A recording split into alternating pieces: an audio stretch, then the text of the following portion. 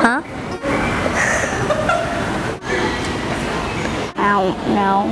I can say it. Peli... Phenyl... Know... Chemis. Turn it. Keturnia. Ketone. Yeah. Urea. Phenylketonuria. Phenylketone. Phenylketonuria. Phenylketonuria. The correct pronunciation is phenylketonuria or PKU. PKU is a common inherited metabolic disorder where a person is unable to break down an amino acid called phenylalanine. Amino acids are our building blocks for proteins. Untreated PKU in childhood can cause seizures and intellectual disabilities. Women with PKU carry an additional burden because high phenylalanine levels during pregnancy can cause heart defects in the baby or brain damage.